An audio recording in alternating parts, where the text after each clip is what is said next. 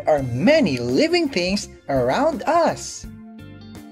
Some living things are quite big, while others are small. But did you know that there are living things which are even smaller that you cannot see them using your naked eye? That's right. And to be able to learn and understand their nature and characteristics, we need to use a special instrument like this one. This is a microscope. The microscope is used to see or magnify many things that cannot be seen by the naked eye.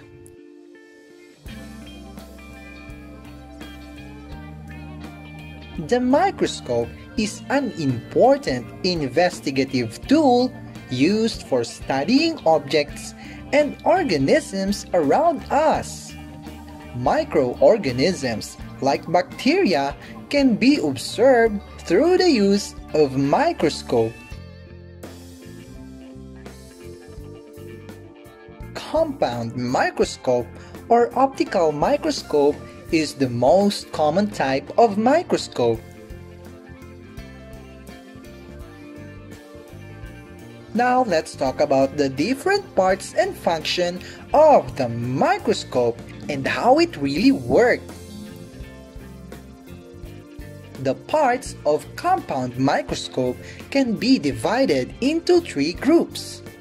The magnifying, the illuminating, and the mechanical parts.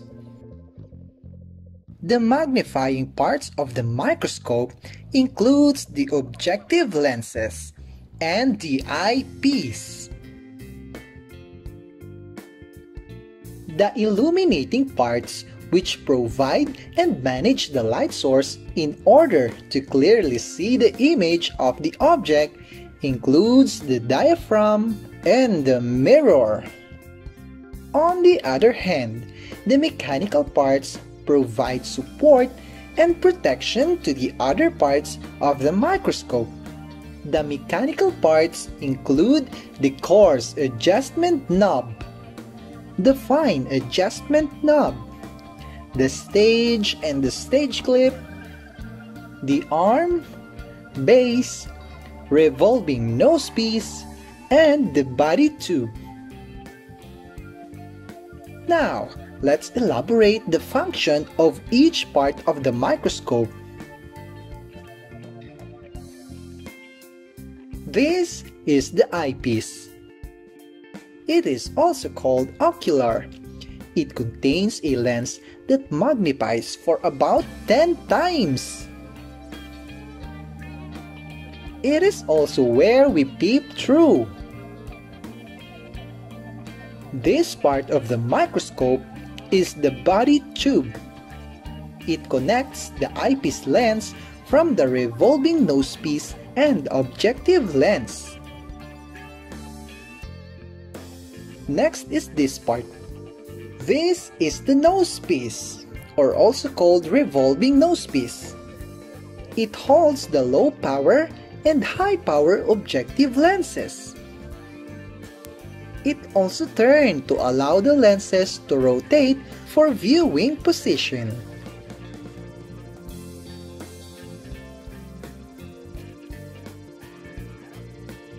Next are these parts. These are called objective lenses.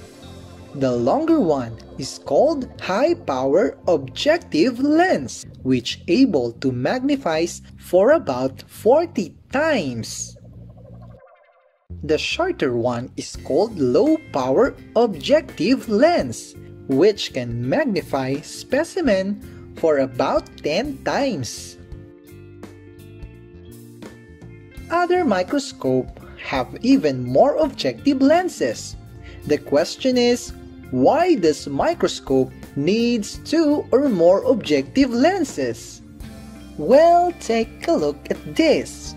If you use high power objective lens and see that the image is bigger than you need to see the full details, might as well use other objective lens until you get the best image.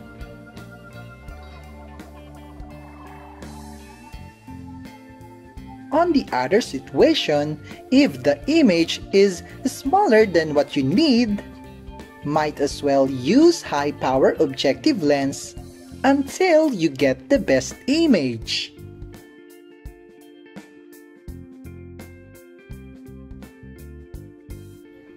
Now, let's go back to the different parts of the microscope.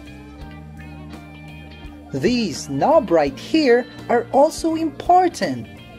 This is the coarse adjustment knob.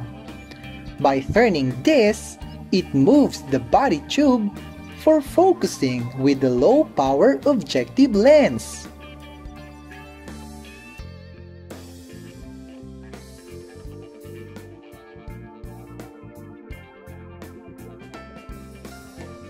This small knob right here is also important to make the image clear. This is the fine adjustment knob. By turning this, it sharpens the image under high and low magnification.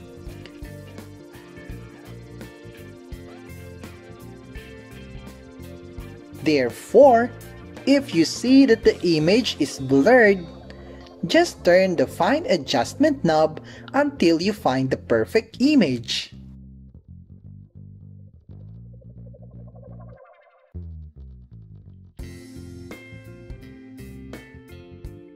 This part of the microscope is called arm and it supports the body tube.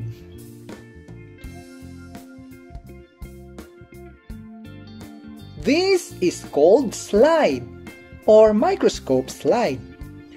This is where you put the specimen or the tiny object you want to observe.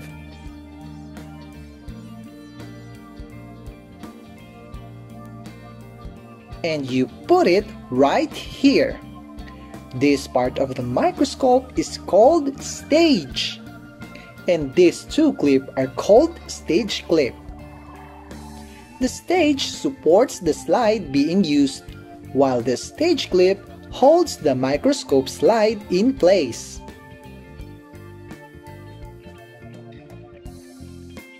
This part is called inclination joint. It allows microscope to tilt if needed.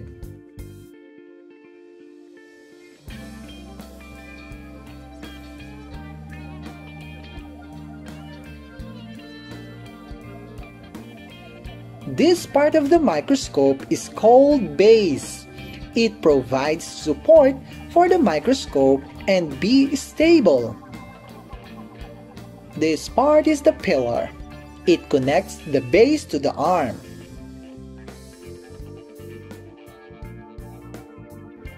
Take a look at this. Why do we have a mirror right here? This mirror is important because it collects light from the surrounding and reflects light upward through the diaphragm. We need to put light on the specimen so we can see it clearly. That is why other microscopes use bulb to supply the light on the specimen.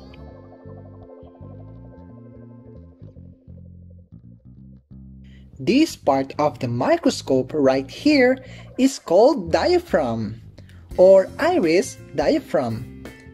It controls the amount of light passing through the opening of the stage.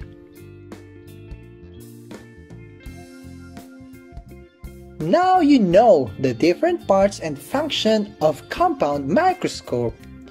Did you know that there are other high-tech microscope that was able to observe even bacteria, molecules, and even cells. That is amazing, right?